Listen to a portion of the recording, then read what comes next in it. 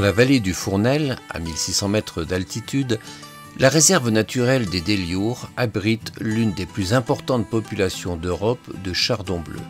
Un chardon qui n'en est pas un en réalité, puisqu'étant une ombellifère, famille des apiacées, comme la carotte, le persil ou bien encore le céleri. On l'appelle aussi panico des Alpes, panico bleu ou bien encore reine des Alpes.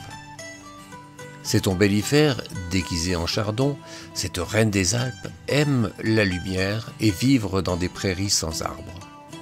Et comme pour beaucoup de plantes de montagne, les périodes de gel sont nécessaires pour la germination des graines.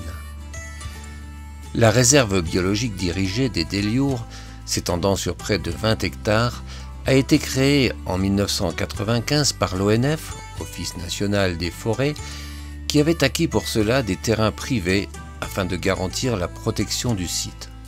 Parmi les objectifs de la réserve, conserver et renforcer la population de chardon bleu en évitant l'envahissement des arbustes et des arbres grâce à des débroussaillements naturels, du pâturage d'automne et du fauchage. Le second enjeu majeur de la réserve des Déliours, au-delà des études scientifiques menées sur le site, est d'éviter la cueillette de chardon bleu le chardon bleu est en effet une espèce protégée, aussi bien en France que dans le reste de l'Europe. S'il est donc strictement interdit de ramasser ou d'arracher cette plante à son milieu naturel, il est cependant possible d'en trouver des plants ou des fleurs coupées à la vente, en boutique ou sur les marchés de la région.